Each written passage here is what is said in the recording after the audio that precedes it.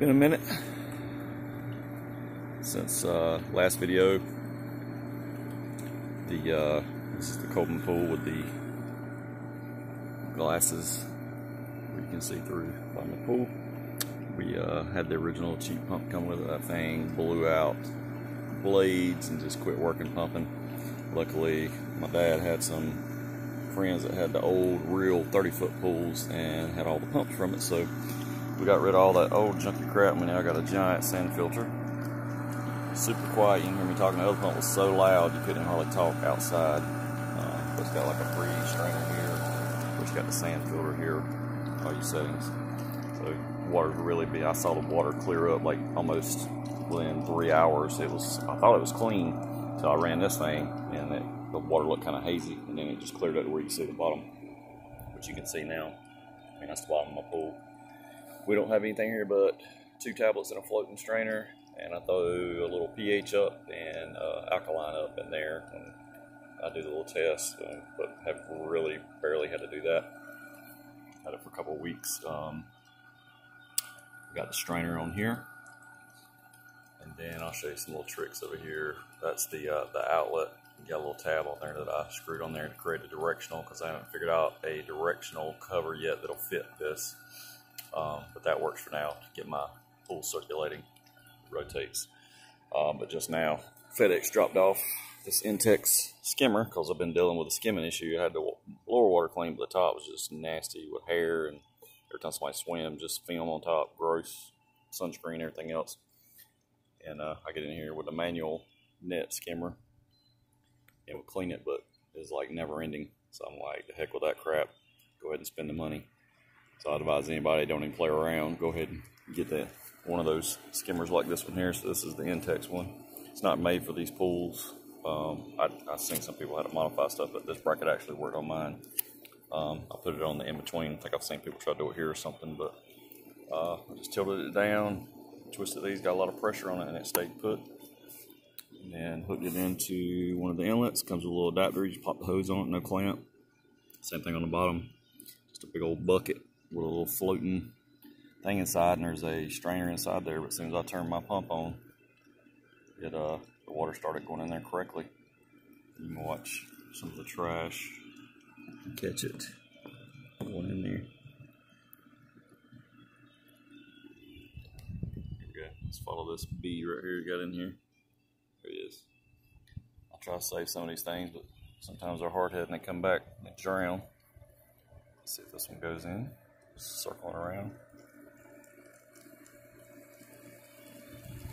Oh, got by. It's coming back. You'll make it.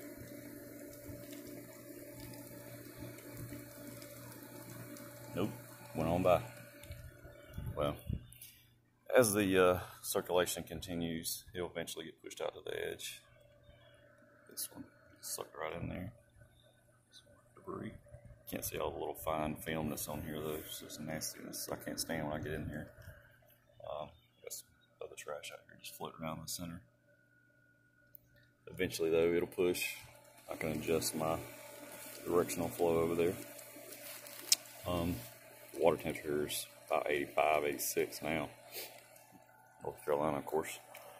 But this makes me feel a lot more comfortable swimming in here. Because I just, when you're young and a kid, I guess, you get pulled, you don't pay attention to this crap. But the older I am now, all I see is nastiness. I about won't even get a hot tub. Just think about all people's skin cells and everything else. And that crap's just gross.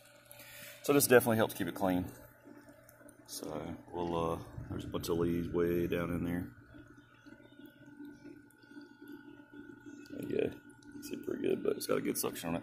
I didn't even have to plug up that, uh, it comes with a little plug. You can plug that up it reduces the pressure on that side.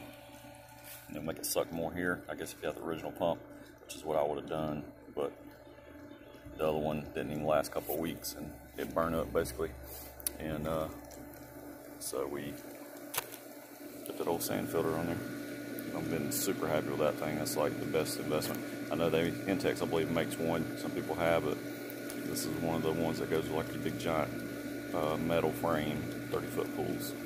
Uh, my father had one in for probably 10 or plus years, and beginning of this year. He was getting ready to build a deck, and the sides had rusted out on the inside between the liner and the metal because they don't make it out of aluminum and steel. And the rust just slowly ate through enough that the seams busted open. They come out, and the whole pool had flooded the yard. So it was pretty crazy. But now they're getting an in-ground pool. But with the coronavirus, everything's been delayed till like June. Uh, they've cut back like the people who make the pools. They like make them like fresh or something. Apparently, the fiberglass in uh, pools.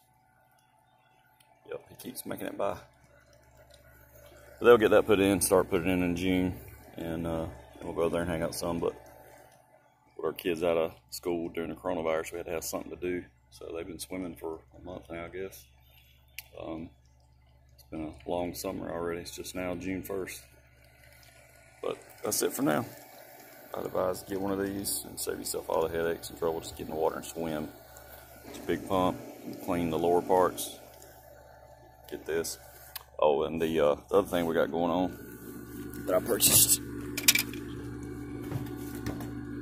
these shaker vacuums.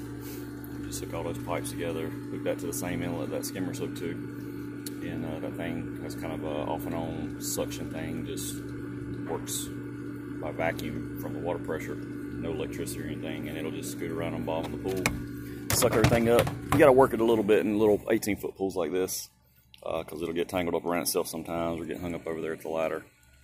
But for the most part, it'll go around in circles and you'll get much stuff. And you take the, I'll take the old skimmer stick and we'll kind of pull the hose a little bit, make it go over if I see something. But it's still easier than getting in with this little crap right here that works off the water hose, which I was originally doing. Once I got that thing now, it just rock and rolls in there. I'll try to do a video later, show how it works. But it will work with a Coleman pool as long as you got one of these pumps. That's it.